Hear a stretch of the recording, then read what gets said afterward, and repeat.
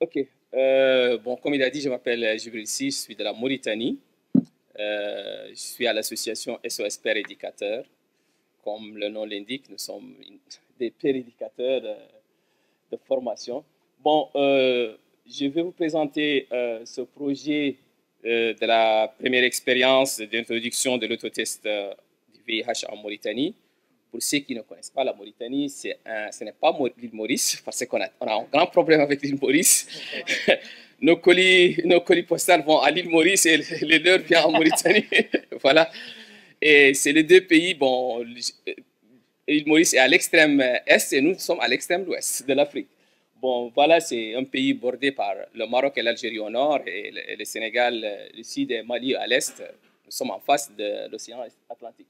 Bon, le contexte maintenant de, ce projet ou bien du VIH-Sida en Mauritanie, comme vous le voyez, le taux de, prévalence est de 0,2 dans la population générale, mais chez les HHS, s'il vous plaît, c'est 23%. Et 9%, ça c'est une étude récente de 2019 euh, faite par le ministère de la Santé et, avec l'appui du Fonds mondial. Bon, euh, mais aussi le contexte du projet, le, projet est fait dans un contexte un peu favorable parce que durant longtemps, on a eu, on travaillait avec des stratégies, avec des chiffres très anciennes, mais entre 2019 et 2022, on a fait beaucoup de choses en termes de production, de, de, de validation avant tout, la, nouvelle stratégie nationale euh, de lutte contre le sida 2022-2026, mais aussi la stratégie nationale du dépistage euh, euh, communautaire qui intègre les dépistages euh, démédicalisés euh, par les pairs comme un axe prioritaire. ça, c'est par le ministère de la Santé et aussi la validation de la stratégie des activités et des actions différenciées en termes du VIH-Sida, comme le test aussi était cité comme une action majeure la mise en place aussi du code INIX, avant, surtout pour les, actions qui ciblent les populations clés. Avant, on était dans le pêle-mêle, il n'y avait pas le code INIX, on ne pouvait pas faire un bon suivi des activités. Mais aussi, l'autre contexte, c'est la pandémie du Covid-19 que tout le monde connaît, que je ne vais pas en revenir. Maintenant, l'autre côté, c'est le contexte de l'association qui a mis en œuvre cette, cette, activité. On était en interaction, comme vous voyez, avec plusieurs euh, choses. Avant tout, euh, SOS Péréducateur est membre de la plateforme maintenant euh, Coalition Plus. Depuis 2014 et ces sept dernières années, vraiment, l'association a eu beaucoup de renforcement de Coalition Plus euh, pour pouvoir avoir cette capacité d'intervenir euh, auprès des, populations clés, mais aussi mettre en œuvre des activités euh, différenciées, mais aussi L'autre chose, c'est les aspects, les aspects techniques comme gestion financière, suivi, évaluation, parce qu'il y a 20 ans, nous, étions une association de quartiers. Euh, on cotise 20 ouguiya, 30 ouguiya pour euh, faire nos activités. Aujourd'hui, on intervient partout en Mauritanie on a mis même des, des, des activités en dehors de, la Mauritanie. Bon, euh, aussi, c'était le, contexte de l'association durant la mise en œuvre de cette activité, c'était aussi des activités financé par, euh, par l'initiative euh, de dépistage, euh, de dépistage des médicalisés communautaires, le renforcement des capacités des associations que, l'association portait, mais aussi un travail au niveau rural dans le domaine de la santé en global en général et avec des structures privées comme Bitrich Petroleum, BP, qui est l'un de nos meilleurs, nos, premiers bailleurs, bailleurs de fonds, mais aussi avec d'autres fondations dans le domaine aussi de, de, l'action communautaire dans ces deux dernières euh, activités, c'était surtout l'intégration des relais communautaires dans le structure de, de, santé publique qui, est, qui, a donné comme résultat, aujourd'hui, l'association s'est intégrée dans le secteur de santé publique avec des bâtiments dans les secteurs de santé publique pour mettre en œuvre les activités de prévention que la santé publique est en train de, démissionner petit à petit ou, ou depuis quelque temps. En plus, euh, dans le contexte aussi, c'est la participation de l'association dans plusieurs actions de, plusieurs plutôt ateliers internationaux comme l'IAS, comme l'AFRAMED et maintenant l'AFRAVIH. Et si je reviens au projet proprement dit, voilà, c'est un projet qui a comme objectif euh, d'atteindre les personnes à haut risque qui, n'ont pas, qui, ont besoin de faire les tests du VIH fréquemment. Euh, voilà, ça, c'était l'un des, objectifs du, projet. Mais plus spécifiquement pour les populations clés, les HHH et les PS en Mauritanie. C'est les deux populations clés en, Mauritanie. Euh, qu'ils bénéficient de, qui ne bénéficient pas des campagnes de dépistage ordinaires, d'y avoir accès, avoir accès surtout au dépistage euh, du, du, VIH. c'était le deuxième, le deuxième euh, objectif. Pour arriver à, ces deux objectifs, euh, on a mis en place un paquet d'activités dans le cadre du projet. Avant tout, ouvrir, sept kiosques ou bien sept unités d'offres de, services de prévention combinée. Mais aussi, comme c'était la première fois, on ne connaissait pas l'autotest, beaucoup de monde euh, a pas, on a produit euh, des vidéos, une vidéo pour la promotion, création de la demande avant tout, mais aussi une autre vidéo pour montrer comment, comment se fait l'autotest euh, et des vidéos en dessin animé partageables surtout dans les réseaux sociaux comme le WhatsApp pour partager facilement parce qu'on était aussi, le projet s'est passé durant le mois de, entre le mois de juin et septembre 2021. C'était la, le pic du Covid en Mauritanie et le couvre-feu était entre 19h et 20h. Euh, euh, ça veut dire qu'il n'y avait pas de contact avec, euh, avec les, les, cibles. Il, fallait mettre en place un dispositif de communication qui facilite l'accès à l'information. Ça veut dire qu'il faut avoir tous, avant tout l'information pour créer la, la, demande. Et surtout, quand toutes ces vidéos étaient, étaient dans, les langues, dans les langues nationales, on s'est appuyé sur ça, sur l'expérience à travers l'ONICIDA euh, euh, sur l'expérience d'Atlas et Soltis, parce qu'on a utilisé leurs leur, leur, leur, documents et leur production pour, pour les adapter avec le contexte mauritanien, plus les dépliants. Tout ça, franchement, je reconnais que c'était pour, c'était on a pris de la production de Atlas et, et Soltis pour, pour les produire au niveau de la, de la Mauritanie. La mise en place aussi d'une ligne verte gratuite euh, pour tout ça, c'est le dispositif de communication pour faciliter la communication durant la période du Covid. C'est qu'on a mis en place une ligne verte dans le cadre du projet pour euh, faciliter à tous les ayants besoin de euh, contacter euh, les gens qui, ont, ont donné les, les, les kits d'autotest. Bon, euh, l'organisation d'une session de formation, bon, ça c'est évident pour toute l'équipe, les relais communautaires, les pérédicateurs, même l'équipe de gestion du, projet, la mise en œuvre aussi d'un paquet d'activités de prévention combinées. Ce n'était pas seulement la distribution de l'autotest, mais on a gardé tout le, paquet classique de, de, la prévention combinée, de soins des IST, euh, des activités d'entretien individuel, la sensibilisation, la distribution de préservatifs, voilà, tout ça c'était, était, là, dans le, mais aussi euh, on a mis en place des équipes, surtout, surtout des équipes euh, mobiles euh, de, de, prestation de services de santé en général au profit, de, au profit des cibles, euh, des mallettes à travers les mallettes, mais aussi on a mis en place un dispositif des mallettes pour faciliter la distribution, pour les relais communautaires bien sûr, pour faciliter la distribution et la mise en œuvre des activités de prévention communée. Bon, maintenant, par rapport aux, résultats, il y a deux types de résultats, celles liées à la communication et, celles liées à, tout ce qui est dépistage. Bon, les indicateurs, bon, vous allez voir ce qui était ciblé le nombre de dépliants, 12 000, on, était à 48% seulement. Et le nombre de partages de vidéos à travers le, WhatsApp, c'est le premier partage qu'on a. Le deuxième, on ne l'a pas, c'est 2388. Et les préservatifs, euh, sur 60 000, on a distribué 35 000. Et ça, c'est entre les quatre mois. Hein. Et pour vous dire que la, le nombre de, de, de, HHA seulement en Mauritanie est estimé à 8 000 et les PS à, 6 000. Ça, c'est une étude qui est indépendante de nous, par, qui est faite par le secrétariat exécutif national de lutte contre le VIH-Sida. Et le nombre euh, de, PS et de HHS qui ont bénéficié euh, des séances de petits groupes, c'est autour de. Euh, c'était prévu 800, mais on a, on a touché 1259. Ça veut dire 157 et maintenant, pour le côté dépistage proprement dit, le nombre des autotests distribués, c'était prévu 1700, on a distribué seulement 762, ça veut dire que nous sommes à 44,8%.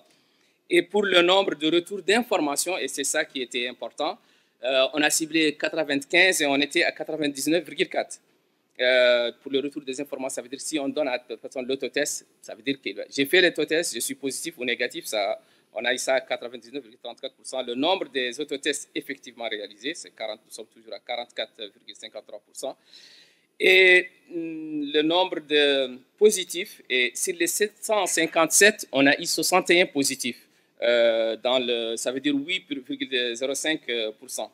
Mais l'autre problème, le problème qu'on a eu, c'est l'intégration des séropositifs dans les secteurs de prise en charge. On était à 72%, ça veut dire qu'on a 27, euh, qui était qu'on n'a pas durant, le projet, ça veut dire les, les juin, septembre 2021, euh, nous avons 17 personnes parmi les 61 qui n'étaient pas encore intégrées dans les structures de prise en charge parce que nous, on applique euh, les testés et traités. Ça veut dire qu'immédiatement, il y a d'autres qui, ont une autre méthodologie, mais nous, c'est ça le protocole de, la, Mauritanie.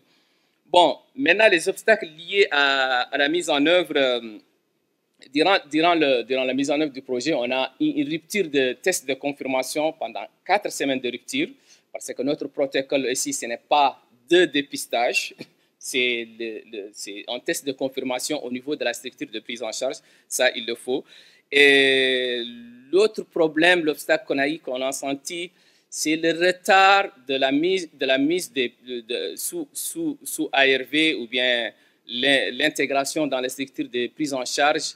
Euh, on a senti un grand retard par rapport aux autres types de dépistage, surtout le TROD classique euh, avec la présence d'une autre personne qui va aider la, personne à, se dépister. Ça veut dire l'autotest, on a vu qu'il y a un décalage en termes de temps pour amener la personne pour euh, l'intégrer dans le circuit de prise en charge.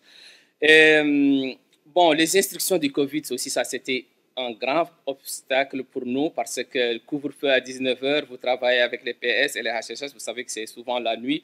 C'était un grand problème. Ça veut dire que ça a handicapé le travail de nos relais communautaires et parfois même, euh, euh, ils ont des, vu que c'était une période où police et la garde nationale étaient mobilisés, ça veut dire que tu as mille chances de rencontrer un policier dans tes activités de, la nuit ou bien auprès des HHH ou des PS. Voilà, ça, c'était vraiment un, des obstacles. Les solutions, c'est que par rapport à ces obstacles, au début, que nous, on a pensé qu'on peut le résoudre, par exemple, la, confirmation avec euh, une confirmation dans une clinique privée, on a commencé à le faire. On nous a dit non, arrêtez ça. Même si vous faites euh, dans une clinique privée, arrivez au, centre de prise en charge. Nous, on va faire, si on n'a pas fait notre, notre euh, confirmation, il ne sera pas sous ARV. Voilà, on a, on a arrêté. Et bon, on, ça, ça, c'est d'une part. Et l'autre côté, c'est que les, les, pour, pour, la, pour, les solutions, c'est que les relais communautaires gardent, restent toujours en contact avec les personnes dépistées euh, positives par le téléphone chaque deux jours, chaque trois jours. Voilà, ça c'était. Et, à cause de, de, couvre-feu aussi, ça une autre solution. Les, les relais communautaires et les pérédicateurs ont changé le, temps classique de travail. Au lieu de la nuit, ils travaillaient de plus en plus le jour pour atteindre euh, leur cible. Bon, les leçons apprises de cette euh, expérience, cette première expérience, la mise en, la mise en œuvre de ce projet s'est appuyée avant tout sur un dispositif. Les projets que j'ai cités au, début, que ce soit celui de l'initiative sur le dépistage, celui des BP, celui des Manos tous ces projets ont appuyé ce projet. Ce n'était pas intentionnel, mais on s'est retrouvé qu'on est en train de nous appuyer sur les, projets, les autres projets qu'on mène ou bien que les autres mènent avec leurs dispositifs, leurs kiosques, même le relais communautaire, voilà, c'était ça. Il n'a pas travaillé tout seul, il n'a pas atteint ses, résultats tout seul, ce projet. Euh, une, bonne partie des nouveaux positifs, on les a détectés en se basant sur, euh, un cas index. Ça veut dire qu'autour de quelqu'un qui était positif, euh, dès qu'on dépiste autour de lui, on a plus de chances de trouver, ça ce n'est pas nous que c'était connu, mais nous aussi on s'est appuyé sur cette chose euh, en, se basant sur les cas, index euh, de, personnes séropositives. L'expérience de dépistage de l'autotest a permis aussi d'identifier de nouveaux cas de population Voilà. Euh, avant, depuis 20 ans, on travaille auprès de populations clés. Mais en quatre mois, on a, vu qu'on a ouvert, on, a pu atteindre d'autres personnes qu'on n'a jamais puis atteindre parce qu'on était chez les populations clés, dans les quartiers populaires. On a pu toucher une nouvelle catégorie de populations clés. On a même euh, touché des certaines populations clés qui ne sont jamais identifiées en tant que telles, qui, qui étaient autour, autour de nous à travers seulement ce, cet autotest. Une, euh, une, minute. Oui, les, les, passerelles, les populations passerelles aussi, ça, le, euh, parmi les leçons apprises, on souhaite vraiment qu'ils soient intégrés dans, dans, les, dans les distributions de, de, de, des, des, des, autotests parce qu'on a senti qu'eux aussi, ils en ont besoin euh, en tant que cible. Le défi à surmonter, c'est de maintenir euh, les dispositifs parce que c'est la première fois. On essaie quand même de les maintenir et ce n'est pas facile. Nous, après, après septembre, on, on, maintient les dispositifs avec euh, les moyens de l'association et les moyens d'autres financements privés. L'autre défi qui, nous attend, c'est qu'on a peur que l'autotest soit, soit hum, à d'autres types de, de, dépistage. Ça veut dire qu'on remplace l'autotest à la place de TROD classique ou bien les autres types de dépistage. Ça, c'est un défi parce que l'autotest, il coûte cher, 10 dollars. Euh, la recherche continue de nouveaux canaux, ça aussi, c'est un défi, ce n'est pas facile. Maintenir, et ça, c'est très important, maintenir les populations clés identifiées séronégatives cette fois-ci dans un dispositif ou bien dans un système élevé de prévention. On a l'habitude de dépister et, ou bien euh, compter les gens qu'on a dépistés après, on les laisse dans la nature. Mais nous, ce qu'on conseille, c'est de les maintenir dans un dispositif ou bien un système de prévention. La rétention, on, la connaît dans la rétention dans la structure de prise mais nous, on dit la rétention dans la prévention. Ça, ça peut les garder vraiment séro-négatifs le plus longtemps possible impliquer les populations clés parce que nous sommes dans une république islamique qui s'appelle République islamique de Mauritanie. Ça veut dire que euh, population clé, on se cache euh, souvent, mais et on a utilisé beaucoup de populations clés à surtout durant cette expérience, et ça a montré que la plupart des populations, de ceux qui étaient dépistés positifs, c'est à, la suite des distributions des autotests des populations clés elles-mêmes. Voilà, ça c'était l'un des... Et les recommandations, c'est de renforcer les dispositifs humains, parce qu'on a eu beaucoup de problèmes durant ce travail. La chaîne de lutte contre les sida, souvent on trouve, il y a des coupures ou bien des maillots manquants qui font que tout le service euh, à la fin n'arrive pas comme on le, le veut. Il y, a le suivi après le, le, dépistage qui est, qui est faible ou bien l'accueil qui est faible. Voilà, il y a beaucoup le renforcement de la qualité d'accueil logistique et tout ça dans les structures de, de, prise en charge. On a vu que euh, ce n'était pas à la, au niveau que nous on souhaitait. en plus de l'intégration des PC en tant qu'acteur de, prise en charge de de lutte contre le sida, la mise en œuvre des, acteurs, des actions de prévention combinées, ça c'est très important, et les développer aussi le dépistage basé sur l'index. Et je vous remercie. C'était la minute. Hein.